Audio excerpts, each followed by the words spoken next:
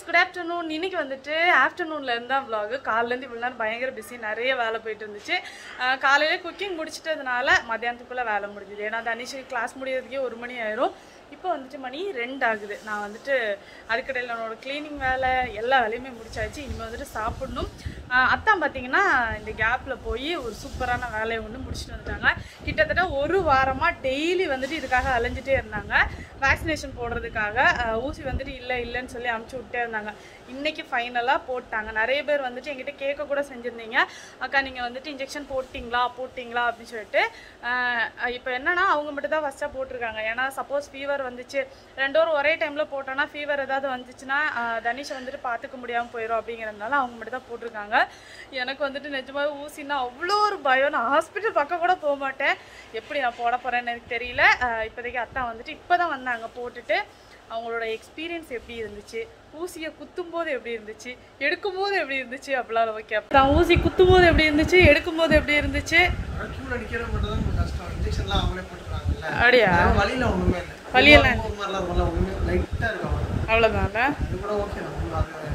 சரி. அப்படியா? அப்படியா சொல்கிறீங்க சரியாப்பா. இல்லையா? இல்லை நான் போட்டேன்னா ஊசி போட்டாக்க சும்மா இருப்பேனா? இல்லை ஊசி போட்டால் சும்மா இருப்பேனா? இல்லைன்னா எப்படி? தெரியல எனக்கு. ஊசி ஊசி போட்டு- போட்டியா அப்படியா. சரி ஓகே டேப்லெட்லாம் கொடுப்பாங்க அப்படின்னு சொன்னாங்க. அதான் நான் ஃப்ரெண்டு ஒருத்தர் கேட்டேன். டோலோ மட்டும் ரெண்டு வச்சுக்கடா. அப்படியா? டேப்லெட்லாம் உங்களுக்கு எதுவுமே கொடுக்கல. அப்படியா? இனிமே எப்போ வர சொல்லியிருக்காங்க அடுத்த டோஸுக்கு ரெண்டு மாசத்துலயா? அப்போ கொரோனா ரெண்டு மாசத்துக்குள்ள நம்மளோட போகாது சனியை. போட்டு தான் ஆகணுமா? சரி ஓகே சரி ஓகே எப்படியோ அத்தா வந்துட்டு ஊசி போட்டாங்க. ஒரு வாரமாக அலைஞ்சிட்டு இருந்தாங்கங்க நிஜமாவே. பாவம் டெய்லி காலைல எது செஞ்சு போவாங்க. போவேன். இன்னைக்கு நான் சரி வர லேட்டா நீங்க வந்தா தான் ஒரு ரெண்டு ஏழரைக்கு போய் நின்னா அவ்வளவு கூட்டம். நூறு பேர் தான் ஃபர்ஸ்ட் வந்துருக்குன்ட்டானுங்க. அப்புறம் பார்த்தா நான் நூத்தி இருபத்தி நூத்தி முப்பத்தி மூணாவது ஆளா நின்னேன். அப்புறம் நம்ம ஃப்ரெண்டு ஒருத்தர் உள்ள ஒருத்தர் இருக்காரு. அவரு போன் அடிச்சு கேட்டு இல்ல நூற்றம்பது இன்ஜெக்ஷன் வந்திருக்கு. கவலைப்படாதீங்கன்றாங்க சரி. நின்னேன். போட்டாச்சு ஒரு வழியா. எவ்வளவு வதந்தின்றா ஒருத்தர் நூறு வந்துருக்குன்றான் ஒருத்தர் நூத்தி இருபதுன்றான் ஒருத்தர் இரநூறுன்றான் எல்லாம் கேட்டு கரெக்டா சொல்ல நூத்தம்பது தான் வந்திருக்கு. அப்படின்னா அவங்க அஃபிஷியலாக அனௌன்ஸ் பண்ணிட்டாங்க. சரி சரி ஓகே ஒரு வழியா அத்தா வேக்சினேஷன் போட்டாச்சு. ஒரு வழியா அத்தா வந்துட்டு ஊசி போட்டாச்சு. இனிமேல் நெக்ஸ்ட் நான் தான் எனக்கு வந்துட்டு ஊசினாலே அலர்ஜி இந்த உலகத்துல பிடிக்காத ஒரு விஷயமே அது வந்து காலைல இருந்து வேலையெல்லாம் செஞ்சு. குளிக்கலத்தா அது வந்துட்டு தெரில கொஞ்ச நாளாவே மூஞ்சி அப்படிதான் இருக்கு. அது சீக்கிரமா சரியாயிரும். சரி என்ன சொல்லிட்டு இருந்தேன்? ஆ எனக்கு வந்துட்டு இந்த உலகத்திலே பிடிக்காத ஒரு விஷயம் வந்துட்டு ஊசி தான் ஊசியும் பள்ளியும் அப்படிதானத்தா தனிஷுக்கு எப்படி சாப்பாடு பிடிக்காதோ அந்த மாதிரி இந்த ரெண்டு விஷயத்த பார்த்தால ஆனா சாப்பாடு வைக்க வேணாம்னு சொன்னா "ஆ, இல்ல வைங்க வைங்க கண்டிப்பா வைங்கன்றான் தெரியல. ஸோ அதனால பார்க்கலாம் நான் அதுக்கு பயந்துக்கிட்டு தான் வந்துட்டு இவ்வளோ நாள் நான் போகாமலே இருந்தேன். இப்போ வந்துட்டு அத்தானும் போட்டிருக்காங்க. அதனால வந்துட்டு ரெண்டு நாள் கழிச்சு நீங்க போட்டுரு ரெண்டு நாள் கழிச்சா சரி பார்க்கலாம் சரியா ரூமுக்கு வந்துட்டு நேம் போர்டு ஒட்டி இருக்கிறாரு தனீஷ் அகல்யா அப்படின்னு. அகல்யா வந்துட்டு அவர் கொஞ்சம் அவருக்கு இஷ்டமா எழுதி வச்சிருக்கிறாரு. இந்த வி எதுக்கு சேர்த்தானதான் தெரியல. சரி எனிவே இது வந்துட்டு லேப்டாப் ஆமா? இது வந்துட்டு என்னத்தான் சிபியூவா ஆ? ரெண்டு லேப்டாப் தான் சரியா? தலைவர் இப்படி தான் வரைஞ்சிருக்கிறாரு. உள்ள வந்துட்டு. ஷேப்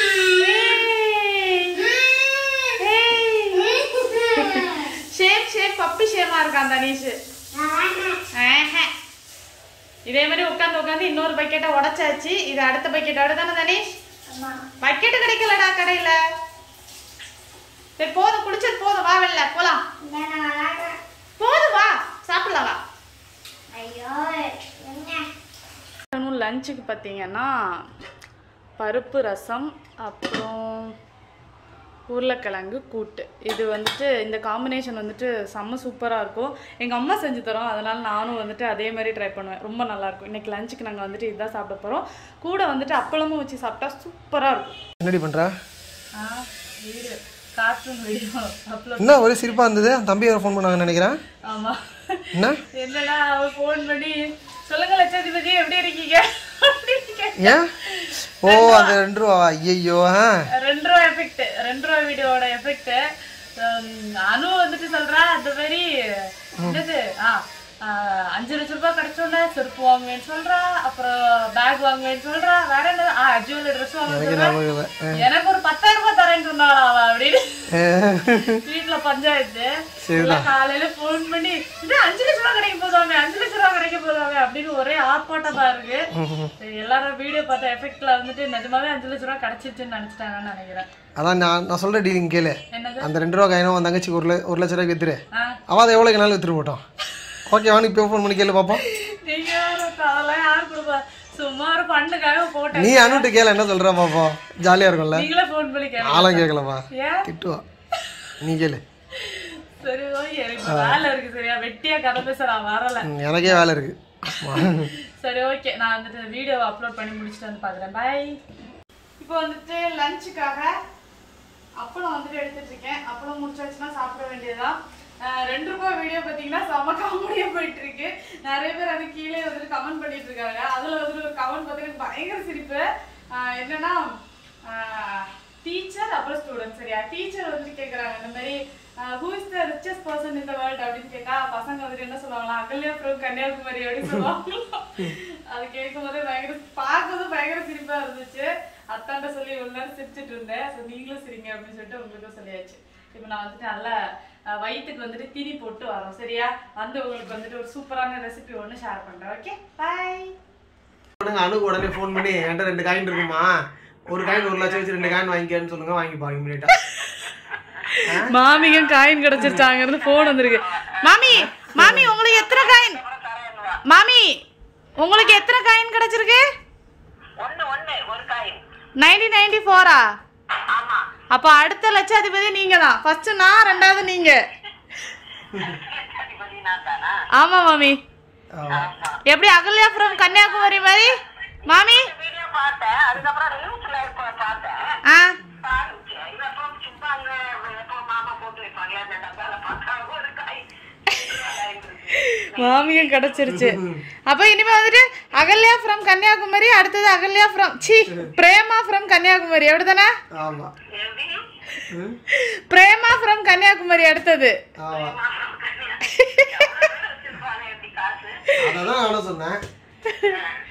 ஏய் நீங்க என்ன சொன்னாலும் சரி. நாங்க லட்சாதிபதி தான். கணேஷே. அம்மா லட்சாதிபதி தானே மக்களே ஆமா. என் தங்கம் ஆமா போட்டு வை என்னன்னு பார்க்கலாம் அம்மாக்கு என்ன ஆசை தெரியல போட்டு போய் ஆ? விக்டோரியா மகாராணி. மகாராணிக்கு பேசாம நம்ம ஒண்ணு பண்ணுவோம் மாமி. நம்ம ஒரு காயின் ஒண்ணு அடிச்சிடலாம். உங்க உங்களோட ஃபேஸ் போட்டு. இதே விக்டோரியா வந்துரும். இதான் விக்டோரியா மகாராணி. நியூ வெர்ஷன் அப்படின்னு போட்டுடலாம். என்னவா? தனுஷ்க்கு ஐநூறு தெரியலையே. தனிஷ் உண்டியல் ஐநூறு ரூபா போட்டது மாமியா? ஓ, மாமியா நான் அட பாய் ஓப்பனா சொன்னேன். நான் யார் போட்டாலும் தெரியாது. நான் தான் போட்டு கீழே விட்டு கெடுத்துட்டியே.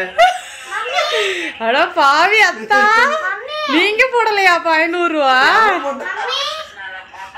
ஏய். மம்மி என்ன மகளே எனக்கு தனுஷ் ஃப்ரம் கன்னியாகுமரின்னு அப்படி வந்துடல எனக்கு நிறைய காயின்ஸ் கிடைச்சிருச்சு நிறைய காசு கிடைச்சிருக்கா ஆமா ஆமா உன் உண்டியை உடச்சுட்டாங்க மக்களே ஆமா அப்பாவையும் அப்பாவையும் அடிக்கணும் ஆமா, அதெல்லாம் எண்ணி நீ உன் உண்டியல்லே போட்டுக்க மக்களே காசு என்ன? ஓகே மாமி மெல்லமா கோத்து விடுறீங்களோ ஆ? எது? மெல்லமா கோத்து விடுறீங்களோன்னு ஆமா பின்ன அவனுக்கு நாங்க உண்டியல்ல போட்ட காசை நைஸா இவன்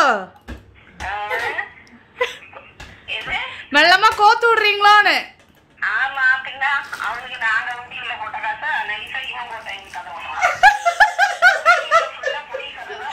அத்தா ஆனா அவங்க குருடாக்கு ஒரு அளவு இல்லாம போயிட்டு இருக்கு சரி, ஐநூறு ரூபா ஆனா அத்தா.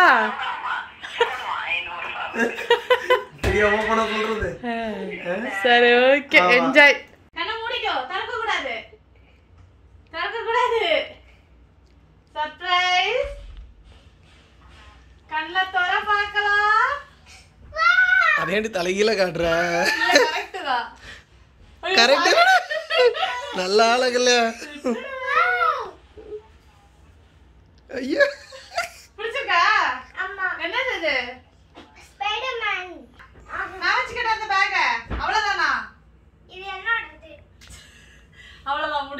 ஆமா. ரொம்ப நாளா கேட்டுட்டே ஆனா டெய்லி கேட்பான்ல அம்மா பேக் வந்துச்சா? அம்மா பேக் வந்துச்சா? பேக் வந்துச்சா? இன்னைக்கு வந்துருச்சு? அவன் பாட்டுக்கு வேலையை போய் ஆமா பாட்டு வேலையை போய் அவ்வளவுதான். தனிஷுக்கு வந்துட்டு அவ்வளவுதான். அதோட முடிஞ்சு சரி ஓகே நல்லா இருக்கு. கொஞ்ச நாள் தான் வரும். பட் என்னவோ போதும் போதும். இல்லை வரும். இல்லை வரும் வரும். ஒரு ஒரு ஆறு மாசம் ஏழு மாசம் வந்தா போதாதா? உள்ள பாருங்க இதை வச்சு தச்சிருக்காங்க அதனால ரொம்ப இது தாங்குமான்னு தெரியல. இவனுக்கு என்ன ரெண்டு புக்கு வச்சு எடுத்துட்டு போவேன் இப்ப எங்க ரெண்டு புக்கு இப்போ அதுவும் கிடையாது. சரி ஓகே பார்க்கலாம். இப்போ வந்துட்டு ஈவினிங் ஆகும் டீ எப்படி இருக்கு மக்களே? ஆ? ஃபில்டர் பண்ணணுமா? உனக்கு நான் டீ கொடுத்து ஒரு மணி நேரம் ஆச்சுமா. இன்னுமா ஃபில்டர் பண்ணணும்? நாக்கு என்ன அப்படியே நல்ல பாம்பு மாதிரி வெளில வருது? சொலவு மாதிரி இருக்க. சரி சீக்கிரம் குடி சீக்கிரம் குடி. நிஜமா இங்க ஒன் ஹவர் ஆச்சு. அந்த கிளாஸை வச்சுக்கிட்டே இருக்கான். சரி சீக்கிரம் குடிச்சு முடி. இன்னுமா மூணு வாட்டி ஃபில்டர் பண்ணியாச்சு. இல்ல நீங்க கிச்சன்ல போய் அந்த ஃபில்டர் இருக்குல்ல ஆமா. அத எடுத்து எடுத்தீங்கன்னா அப்போ எல்லாமே போயிடும் அப்போ நான் ஜாலியா குளிப்பேன். அப்படியா? இல்ல குடிப்பேன்.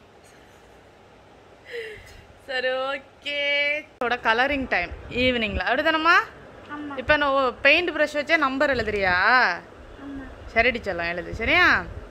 இது வந்துட்டு இது வந்துட்டு நேத்தைக்கு தனீஷ் வந்துட்டு கலர் பண்ணான். சரியா? நம்ம அதை பார்ப்போம்.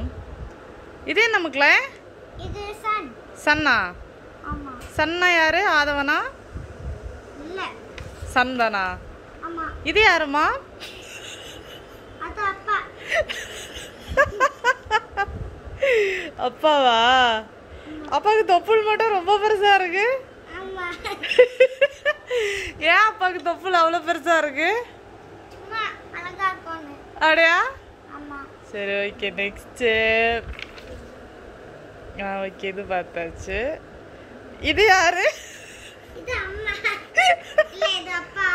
இதுவும் அப்பா தானா.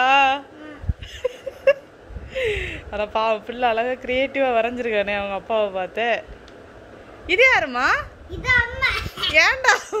ஒரு கண்ணு சர்க்கிளா இருக்கு ஒரு கண்ணு ட்ரையாங்கிளா இருக்கு. ஏன்டா அப்படி இருக்கு? அப்படியா? பெரிய இவரு சரி ஒரு நிமிஷம் எழுதுறேன். இன்னொரு படம் வரைஞ்சிருப்பா. இது யாருமா இது சும்மாவா? ஓ சன் எழுத முடியலையா? சரி ஓகே. ஒரு நிமிஷம் ஒரு நிமிஷம் இரு இரு. ஒரு நிமிஷம் இரு. ஏய் இந்த ஃப்ளவர் பாருங்க ரொம்ப அழகா வரைஞ்சிருக்கான். சூப்பரா இருக்கு மக்களே இந்த ஃப்ளவரு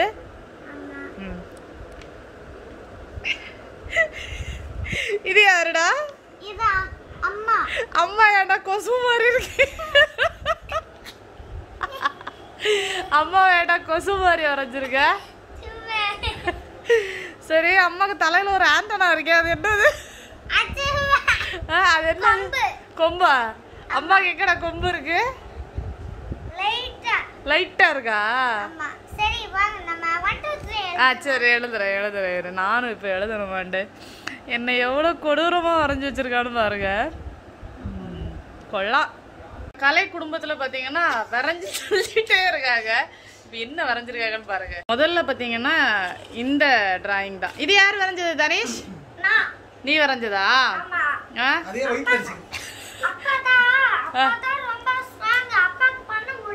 முடியலையா? ஆமா. அப்போட டிராயிங் எப்படி இருக்குமா?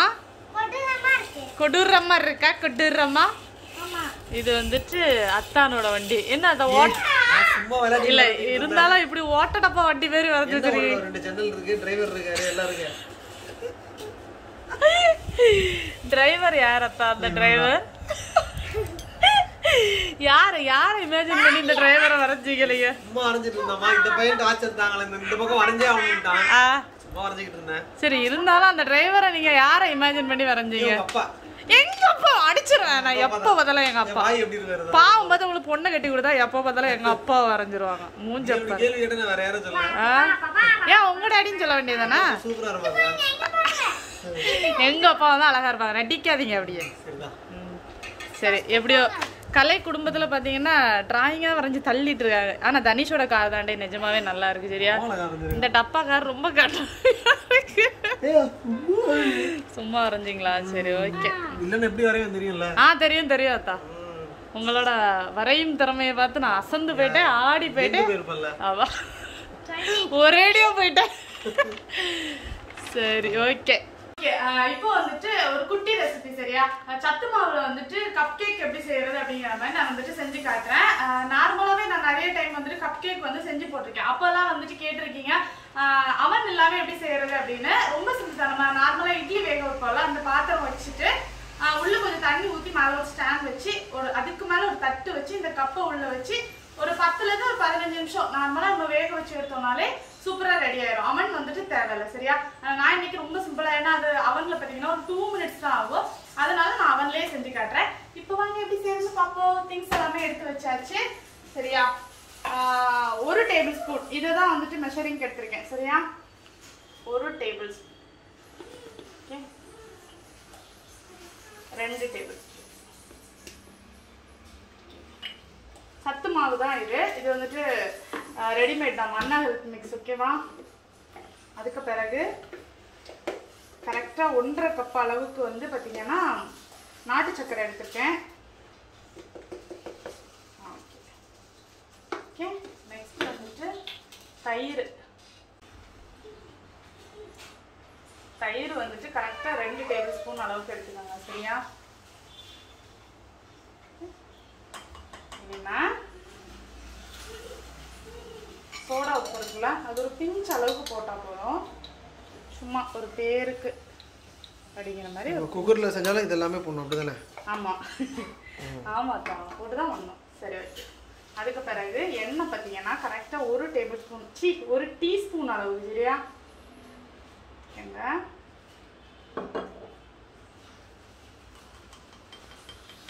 ம். அதுக்கு பிறகு லெமன் லெமன் பார்த்தீங்கன்னா அரை டீஸ்பூன் அளவுக்கு லெமன் வந்துட்டு விட்டுக்கலாம்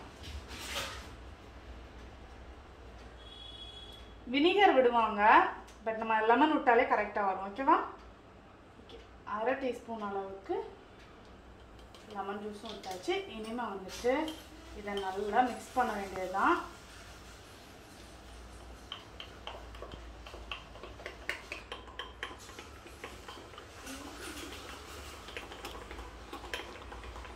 வந்துட்டு மாவு ரெடி ஆயிருச்சு. இனிமேல் வந்துட்டு இதை அவனில் வச்சுட்டு கரெக்டாக மைக்ரோவேவ் மோடில் ஒரு ஒன்றரை நிமிஷம் வச்சுக்கலாம். சரியா? வெயிட் பண்ணலாம் கொஞ்ச நேரம். ஓகே நம்மளோட கப் கேக் பார்த்தீங்கன்னா ரெடி விட்டது. பொங்கி வந்திருக்கு. ஓகே? ஓகே. கேக் எவ்வளோ சாஃப்டாக வந்திருக்குன்னு பாருங்க. செம்மையாக இருக்கா. ஸோ இப்போ வந்துட்டு. எங்களுக்கெல்லாம் கூடாம சாப்பிட போறா. சூடு எப்படி இருக்கு? செம்மையாக இருக்கு. அப்படியா? டேஸ்ட்டு டேஸ்ட் சூப்பரா இருக்கு. ரொம்ப ஹெல்த்தியும் கூட. எப்படி சொல்ல சத்து மாவுல புட்டு பண்ணி சாப்பிட்டா எவ்வளோ டேஸ்ட்டாக இருக்கும்ல. ஸோ அதை வந்துட்டு நம்ம ரெண்டு நிமிஷத்துல வேலையை முடிச்சு சாப்பிட்டுட்டோம்னு சொல்லலாம். ரொம்ப நல்லா இருக்கு. ஸோ கண்டிப்பாக வந்துட்டு ட்ரை பண்ணி பாருங்க. சரியா? இன்னைக்கு வீடியோ முடிஞ்சது. ஓரளவுக்கு வந்துட்டு ஃபன்னாக இருந்திருக்கும்னு நினைக்கிறேன். நாளைக்கு இன்னொரு சூப்பரான வீடியோட வந்து பார்க்குறேன். Bye good night